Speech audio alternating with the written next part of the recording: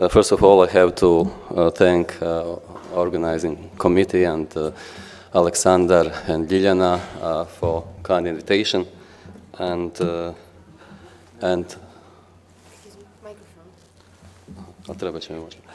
Uh, and uh, I have to con- congratulate on successful Congress. Now it uh, has passed more than uh, half a day, and it's really successful Congress. Well, uh, what I'm going to talk about is uh, does treatment of laryngopharyngeal reflux improve symptoms of chronic rhinosinusitis? I have nothing to disclose, and let's start with definition. So, uh, laryngopharyngeal reflux is defined as the reflux of gastric content into larynx and pharynx. And we can extend this into nose, paranasal sinuses, and middle ear. And actually, it means in ENT region. And also, it's very important to differentiate these two diseases uh, laryngopharyngeal reflux or extraesophageal reflux and gastroesophageal reflux disease. In LPR, problem is upper sphincter, esophageal sphincter, and in uh, GERD, problem is lower esophageal sphincter. And also, there are many characteristics uh, different for these two diseases. So, LPR is uh, silent, and uh, patients are not aware of this disease, and GERD is evident. Uh, episodes of LPR uh, occur during the daytime in upright position, and of uh, GERD in, during the nighttime in supine position. pH is higher in LPR, and there is no esophagitis in LPR, but there is esophagitis in GERD. And even one episode of LPR means pathology. And you can have 50 episodes of uh, gastroesophageal reflux, and it could be physiological. And actually, uh, in esophagus is normal mucosa, and motility in LPR, and in uh, GERD there is dysmotility, and LPR patients belong to otolaryngologists, and GERD patients belong to gastroenterologists. And to be honest, uh, I have to say that in infants, in small children, LPR could be uh, physiological. And you can see that uh, about uh, 50% of children in age of four months uh, have LPR. So LPR is very important because of comorbidity, and uh, it's lucrative comorbidity.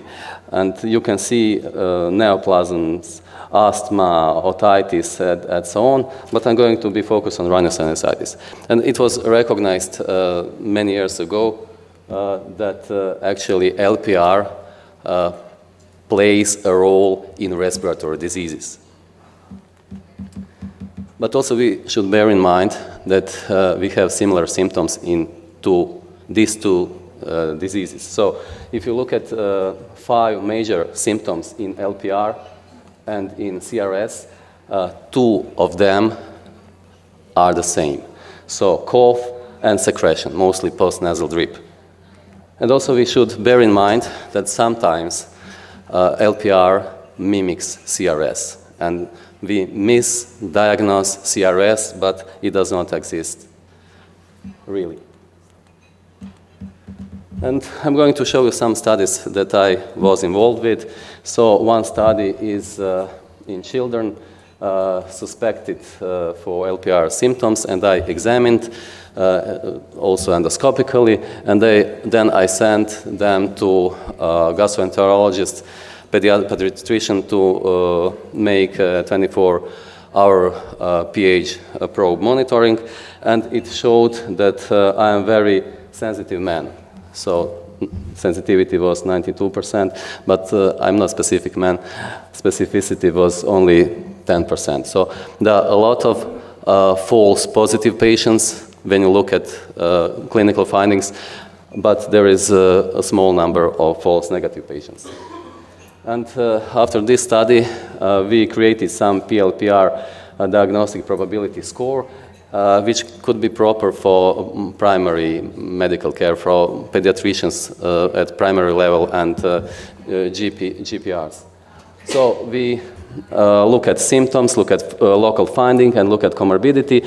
And if uh, present at least one of symptom, for instance, chronic uh, coughing, then we give one point. If present at least one uh, local sign, for instance, elongated uvula, we give one point. And if uh, exists at least one comorbidity, start from obesity to CRS, we give another one point, and altogether we have a probability score low PLPR risk is 0 to 1 point, moderate PLPR risk is 2 point, and uh, high PLPR risk 3 points. And according to this uh, probability score tool, uh, we suggest that uh, children with low risk start change lifestyle and diet, uh, that uh, children with moderate risk start to change lifestyle and diet and to take alginates at least for a month.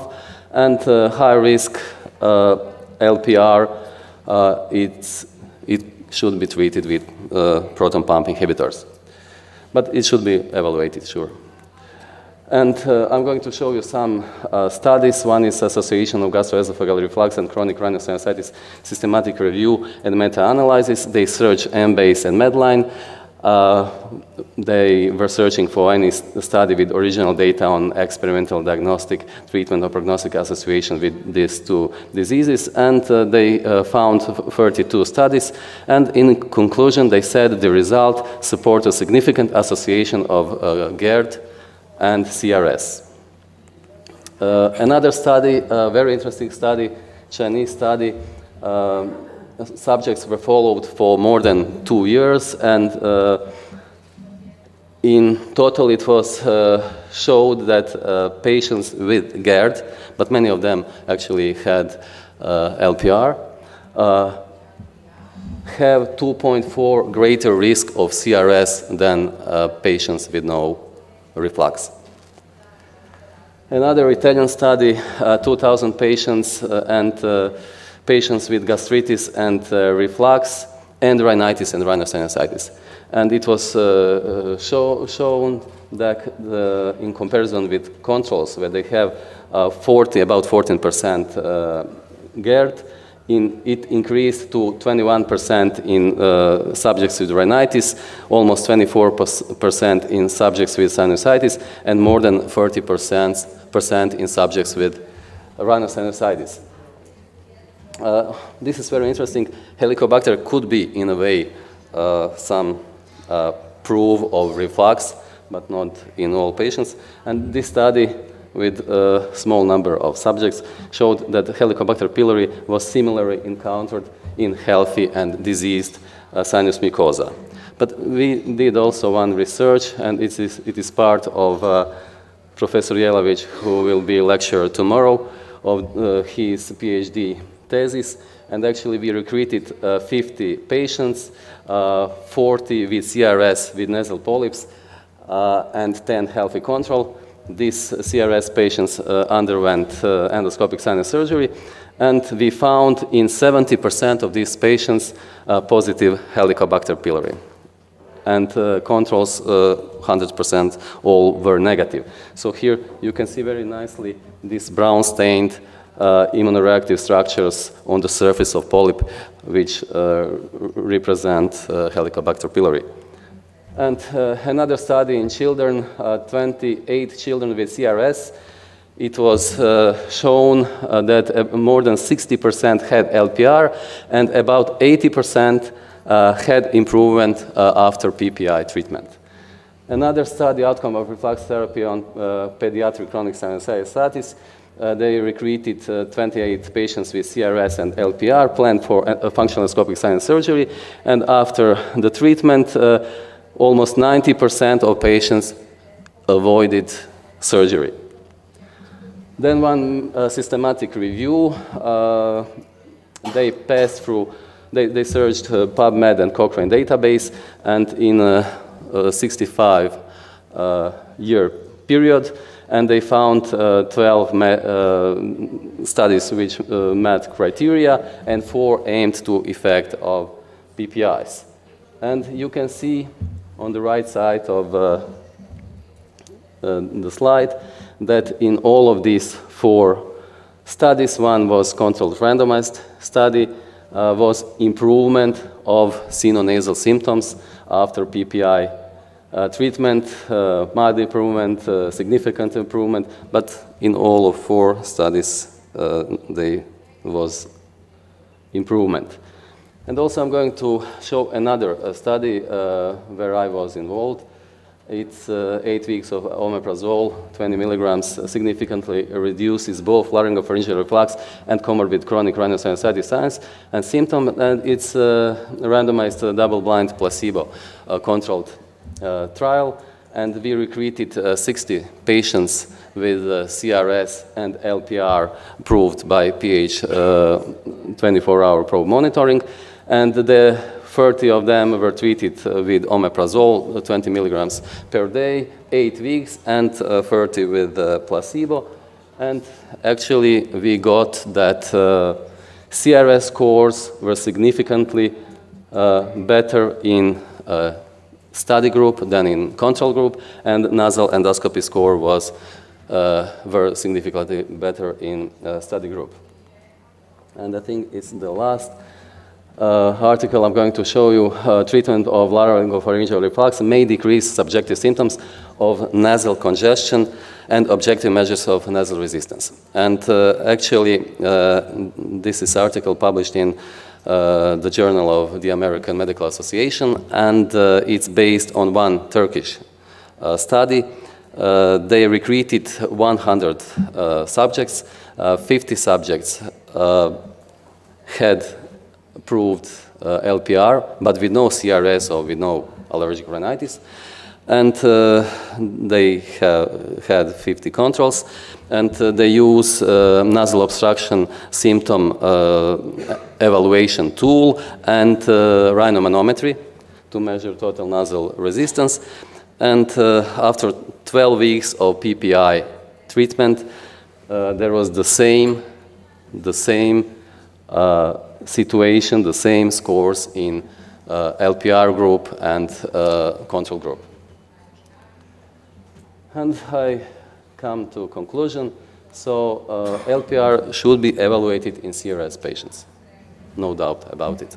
Then LPR should be treated in CRS patients. It could improve CRS symptoms. Some patients could obviate planned surgery after this kind of treatment it could improve surgical outcome. But to be honest, it's still controversial. Thank you.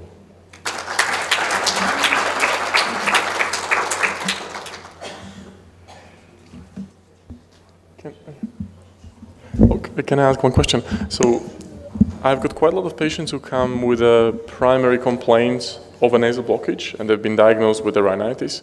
They take a medication for that, which is not helpful. They often have the surgery.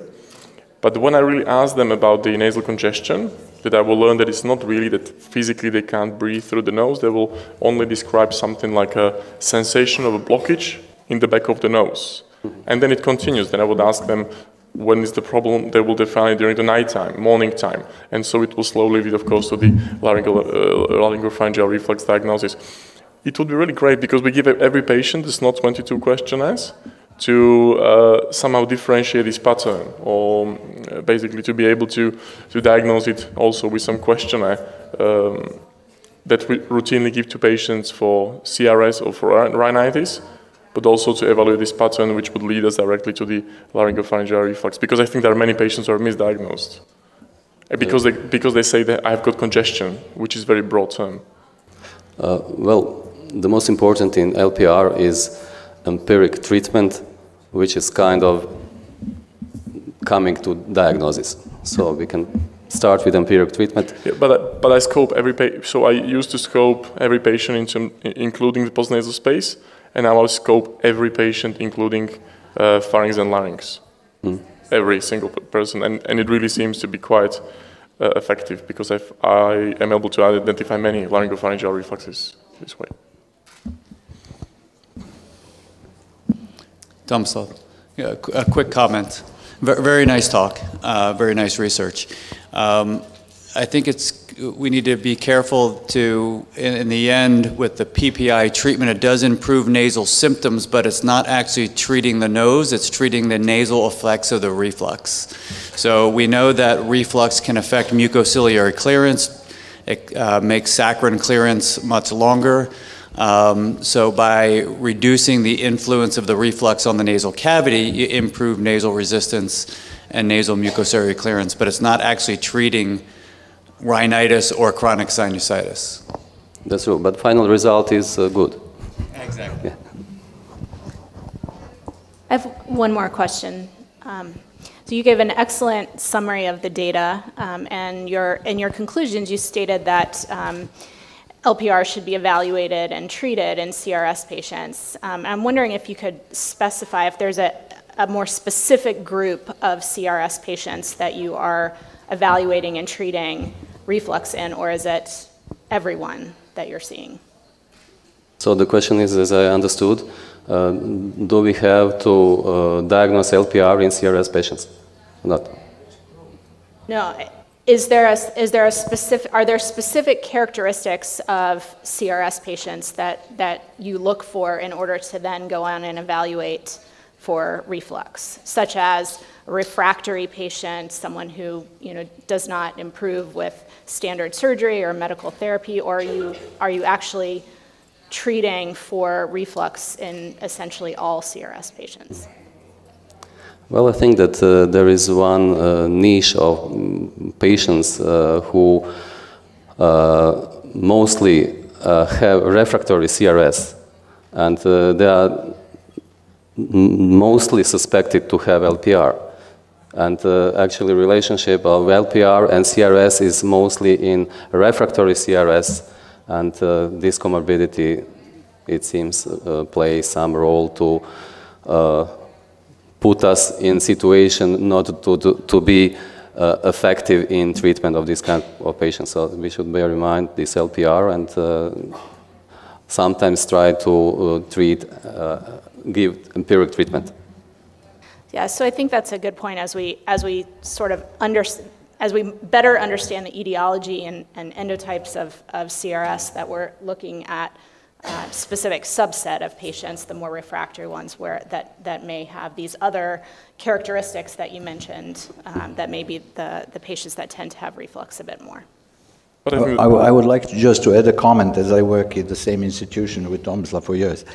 I mean, we don't give PPIs even to refractory sinusitis patients if we don't have signs of reflux in this patient on endoscopy or a pharyngoscopy, and if he has no symptoms and, which and go in that direction. pH probe, yeah.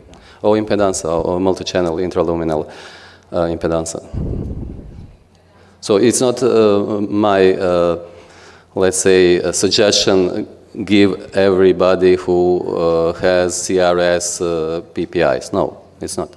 But bear in mind that it could be uh, present in this kind of patient, and uh, if you don't know what to do, and if you uh, tried with everything, uh, try to focus in uh, LPR and try to treat this uh, disease.